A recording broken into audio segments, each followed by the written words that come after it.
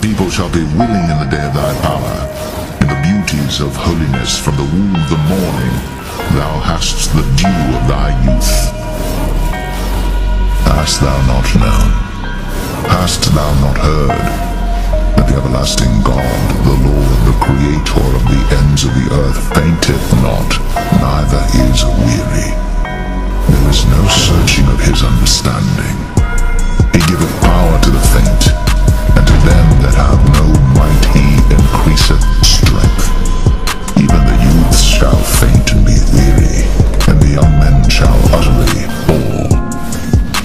They that wait upon the Lord shall renew their strength. They shall mount up with wings as eagles. They shall run and not be weary. And they shall walk and not faint.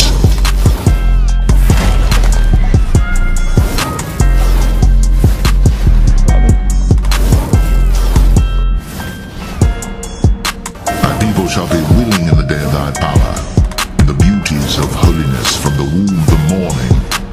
Past the view of thy youth.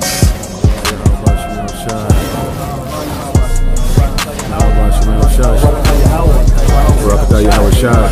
Barakatah Yahweh. Barakatah Yahweh. Barakatah Yahweh Shah.